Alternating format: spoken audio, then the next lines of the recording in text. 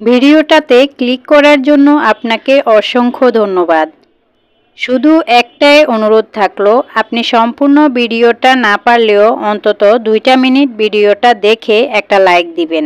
এতে করে আমাদের ভিডিও বানানোটা সার্থক হয় আর তাছাড়াও ভিডিওটা সবার কাছে পৌঁছে যায়। আসসালামু আলাইকুম ভিউয়ার্স। আজকের এই পচা আম পর্বে আপনাদের সবাইকে স্বাগত জানাচ্ছি।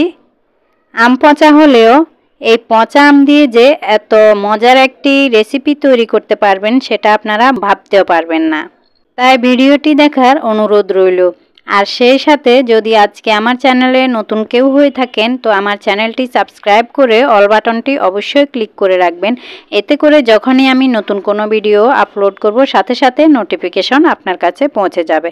তো আপনি আপনার সময় মতো দেখে নিতে পারবেন।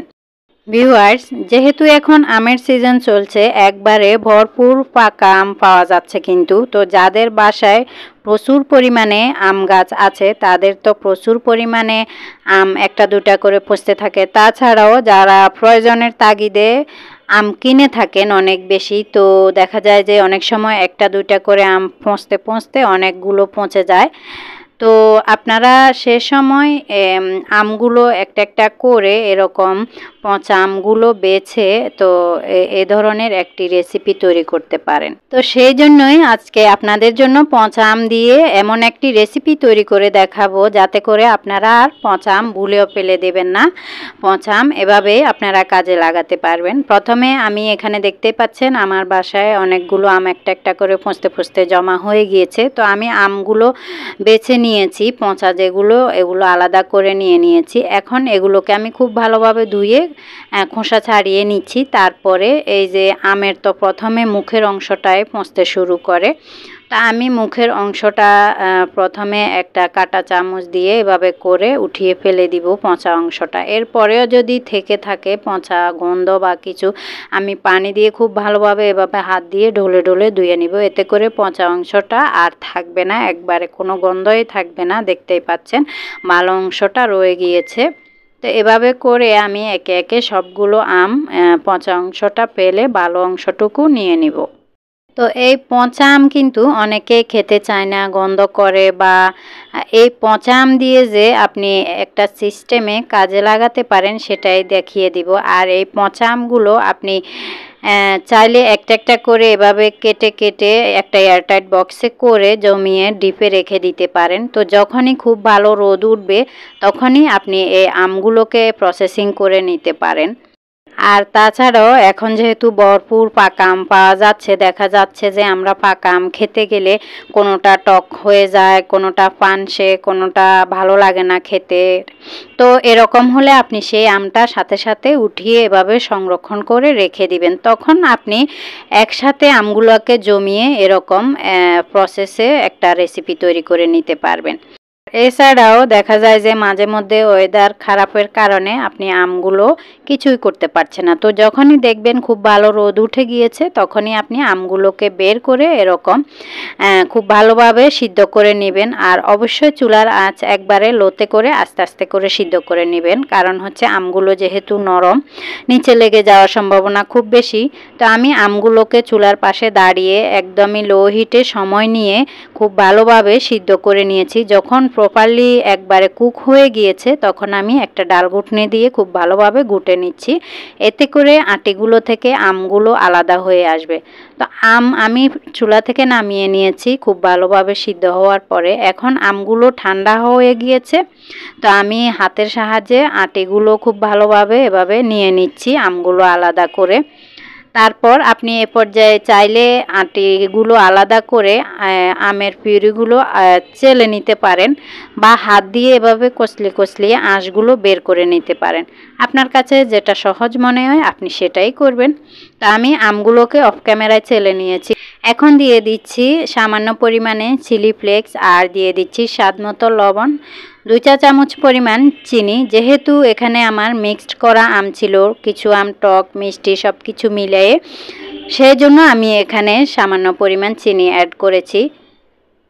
তারপর আমি সমস্ত উপকরণ খুব ভালোভাবে নেড়ে চেড়ে মিশিয়ে দিচ্ছি। এখন চুলায় বসিয়ে দিয়েছি। চুলার আঁচ একবারে লো হিটে রেখে আমি এটাকে জাল করে নিব সময় নিয়ে। না হলে কিন্তু নিচে লেগে যেতে পারে। তো সময় নিয়ে এটাকে নেড়ে চেড়ে খুব ভালোভাবে আমি আরও কিছুটা ঘন করে নিব। যখন একবারে এটা পানিগুলো শুকিয়ে যাবে আর একদম ঘন হয়ে আসবে, তখন আমি এটাকে নামিয়ে নিব।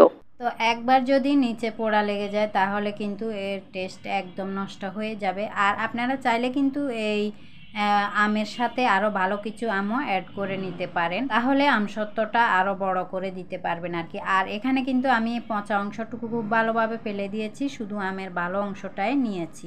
এখন আমগুলোর পানি শুকিয়ে গিয়েছে, ঘন হয়ে গিয়েছে, আমি চুলা থেকে নামিয়ে ঠান্ডা করে নিয়েছি। তো এখন স্টিলের একটা থালাতে সামান্য পরিমাণ সরিষার তেল দিয়ে দিয়েছি। এখন আমের পিড়িগুলো দিয়ে দিচ্ছি, দিয়ে এটাতে খুব সুন্দরভাবে সব দিকে ছড়িয়ে দিয়েছি। আপনারা চাইলে কিন্তু যে কোনো কিছুর মধ্যে এটাকে দিতে পারেন। আপনি চাইলে একটা সুতি কাপড়ের মধ্যেও দিতে পারেন, এতে করে তাড়াতাড়ি শুকিয়ে যাবে।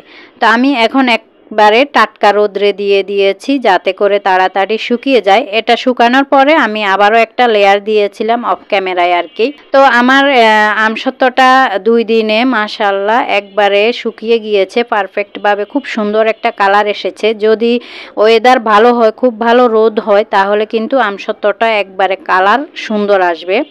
চেষ্টা করবেন খুব টাটকা রোদ্রে আমসত্তরটা শুকিয়ে নিতে আর কি। তা আমি আমসত্তরটা শুকিয়ে রেডি করে নিয়ে এসেছি, দেখতেই পাচ্ছেন। এটা পুরোপুরি শুকিয়ে গিয়েছে। এখন এভাবে টান দিলে কিন্তু উঠে আসছে। আমি কিন্তু উল্টে পাল্টে দুই পাশে খুব ভালোভাবে শুকিয়ে নিয়েছিলাম অফ ক্যামেরায় তো দেখতেই পাচ্ছেন পচা আম দিয়ে কত সুন্দর একটা আমসত্ত্ব তৈরি হয়ে গিয়েছে। অনেকেই আছেন আমসত্ত্ব খেতে খুব বেশি পছন্দ করেন। তো কাঁচা আম দিয়ে তৈরি করেন। আপনারা যদি পাকা আম দিয়ে এভাবে আমসত্ত্ব তৈরি করেন, তাহলে কিন্তু আপনার কালারটাও সুন্দর আসবে। আর এটা যেহেতু আমরা জাল করে, সিদ্ধ করে, তারপরে রোদ্রে দিয়েছি, এতে করে খুব তাড়াতাড়ি শুকিয়েও গিয়েছে আমসত্ত্বটা। আর কালারটাও খুবই সুন্দর এসেছে। আপনারা চাইলে পাকা আম দিয়ে কিন্তু এভাবে আমসত্ত্ব তৈরি করে নিতে পারেন। আপনারা কিন্তু অনেকেই আছেন বাজার থেকে কেনা আমসত্ত্ব খান, বাচ্চাদেরকেও খাবান।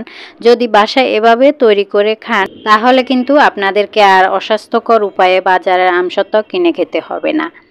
তো একটুও পচা আমের গন্ধ নেই, কিন্তু আমি যেহেতু পচা অংশটা খুব ভালোভাবে ফেলে দিয়েছিলাম। আপনারা এভাবে আমসত্ত্ব তৈরি করে বাচ্চাদেরকে টিফিনেও দিতে পারেন বা লং টাইম কোনো জার্নিতে গেলে ট্রেন জার্নি বা জার্নি বা প্লেনে জার্নি করেন, আপনারা কিন্তু ব্যাগে সাইড ব্যাগে রেখে দিতে পারেন। এতে করে মুখে দিয়ে রাখবেন যখন খারাপ লাগবে, খুবই ফ্রেশ লাগবে। আমি কিন্তু এটা সব সময় রাখি, বাচ্চাদেরকেও দিই। আপনারা স্কুলে বাচ্চাদেরকে একটা বক্সে করেও দিয়ে দিতে পারেন দুই এক পিস এতে করে বাচ্চারা যখনই খারাপ লাগবে, একটু মুখে দিবে, দেখবেন যে ওদের অনেক ফ্রেশ লাগবে। যেহেতু এগুলো বাসায় বানানো খুবই হেলদি আপনি এগুলো সব সময় খেতে পারেন, আপনার মানে খুবই ভালো লাগবে আর কি, এভাবে ট্রাই করতে পারেন। দেখতেই পাচ্ছেন, আমি এরকম ম্যাঙ্গো বারের সাইজ করে কেটে নিচ্ছি। আপনারা কিন্তু বাচ্চাদের জন্য ম্যাঙ্গো বার বাইরে থেকে কিনে, আনে, খাওয়ান। তো আপনারা যদি বাসায় এভাবে তৈরি করেন, দেখবেন বাচ্চারা বুঝতেই পারবে না এটা এতটাই মজার। আর বাজারের ম্যাঙ্গোবার কিন্তু অনেকটা শক্ত হয়, দাঁতে লেগে যায়, খেতে পারে না। এটা খুবই সফট হয়। তো আশা করছি বাসায় সবাই এভাবে ট্রাই করবেন। আর যারা এতক্ষণ পর্যন্ত আমার সাথে ছিলেন, তাদেরকে অন্তরের অন্তঃস্থল থেকে অসংখ্য ধন্যবাদ ভিডিওটি ধৈর্য ধরে দেখার জন্য। আর যারা এখন, এতক্ষণ পর্যন্ত একটা লাইক দেননি, অবশ্যই একটা লাইক দিয়ে দিবেন আর অবশ্যই একটা কমেন্ট করে আপনাদের মতামত জানাবেন। তো আজকের মতো তাহলে এখানে বিদায় নিয়ে নিচ্ছি। সবাই ভালো থাকবেন, সুস্থ থাকবেন। আল্লাহ হাফিজ। আসসালামু আলাইকুম।